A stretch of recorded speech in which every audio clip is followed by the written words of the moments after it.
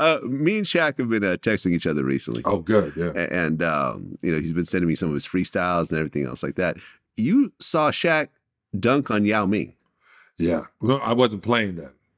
No. I, I wasn't playing when he did it, but I watched it. It was 2001 Yeah. when he did it. I was, I, I was. um, Let me tell you, I don't know if I told the story about Yao Ming, but one, I've, I've only seen a player that big. In I had Chuck Nevitt on my team who was seven four, and I had Sheesh. Manute Bol, tall, You're, skinny. you're how, how, how tall Um, again? I'm seven foot, Seven six eleven, three quarters, You're seven. This guy's seven four. seven four, And Yao Ming is seven six, yeah. The and picture of three hundred and fifty Shaq- pounds. Yeah, Shaq and Yao Ming next to each other looks so crazy. right, because he's taller than Shaq. Exactly, way, way taller, right? Yeah, he's seven inches taller, Yeesh. and he's at that time maybe 15 pounds heavier. Yeah.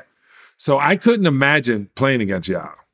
Because I remember when uh, you would go in on a big guy who was just 6'11. But were you playing in the league when Yao? Yao was not, I, Was Yao there- was came in the a- league. He was in the league, but I never got to play. You never got to play against. when him. I came back, I, my job was to sit there and I had the best job in the NBA, bro. when you were on I Lakers, tell people my, my job on the Lakers, I, I, I've I've had great jobs.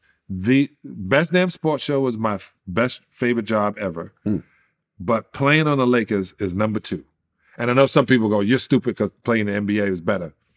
Playing on the Lakers was number two because all I had to do and Shaq. hang out with Shaq, Kobe, Mm-hmm. play against Shaq a couple of times in practice, shoot foul shots with him, stay in shape. And we it, that was that was it. And then somebody's gonna say that's all they all should do. They should. Well, how much All game play. time would you have in a typical Every game? five games. Every five games you'd Every play five for games. how Phil, long? Phil go get taped. because everything with Phil is is is calendared. Okay. So he knows when to give a guy a break, when not to give a guy a break, when to push him. He that whole that whole schedule is already jotted out. So he was like, every five games, I'm, I'm gonna play you. I go, you got Travis over there. He goes, every five games, Oh, you didn't want to play. I'm gonna play you. And I'm like, okay, all right. He goes, I don't know, 15. I said, oh, 15 minutes? Hell yeah. Okay. Well, you just got back from filming Bad Boys 4 Bad Boys 4 with Will Smith. and Martin Lawrence. Martin Lawrence. great script. Okay. when I and I got to be in the table read, and uh, I got to spend time with my friend Will Smith, Yeah. And uh, I'm I'm happy. I'm happy for Will. Did he uh, slap anyone on set or? No, No. Okay. but he, but you know, people always tell like my my family would tell you. I tell them they go, "What's going to happen?" I said, "The next time I get fifty million dollars, I'm disappearing for ninety days." I tell you, I'm going to be in India, and I I said, "But that's it. No one's coming to visit me." I said, and I said, "If you don't believe me, I don't care who dies within that ninety days." that 90 days is my 90 days outside the matrix. I'll come back in after the 90 days. Well, after Will did his smack, Will got to travel.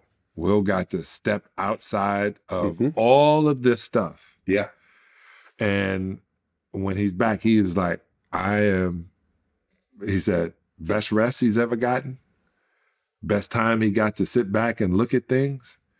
Uh, we share books and gave me a great book called Awareness.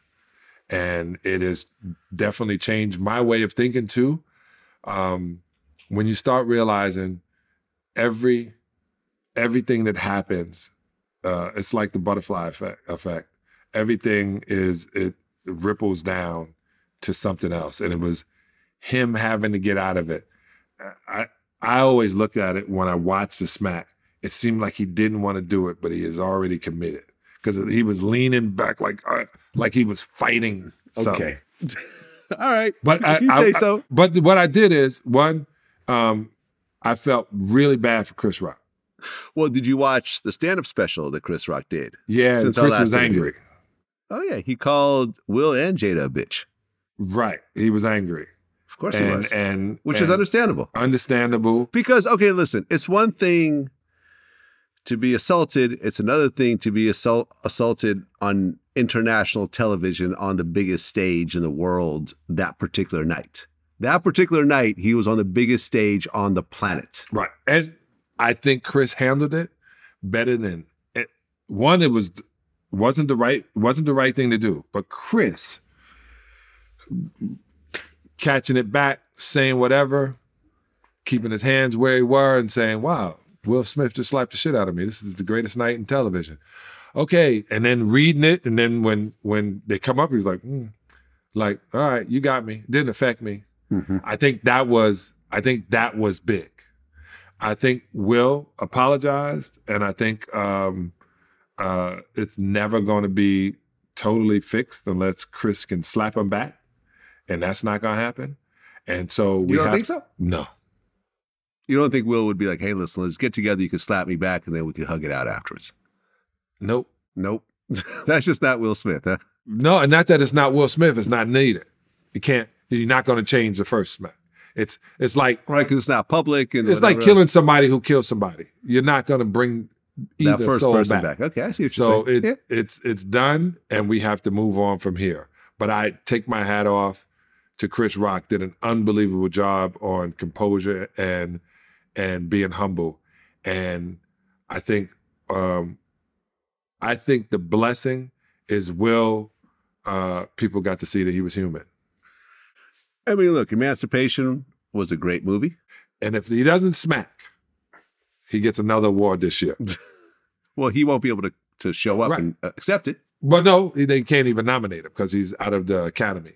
But Oh, he can't even be nominated. No. But that's cool oh, too. okay. Because now you can just make movies because you love to make movies. Well, he already has one one Oscar already. Yeah. And, You know, It's like if Charles Barkley had one championship ring, nobody would say anything he can come behind the velvet rope.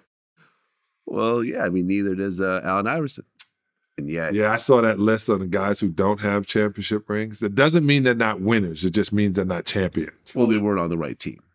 They, they, they didn't have the right. You know, this is not boxing. Charles had two chances. Well, Charles had one, two really good chances. He did. Yeah. He had a great chance in Phoenix. He just ran into this guy named Michael Jordan. Yeah.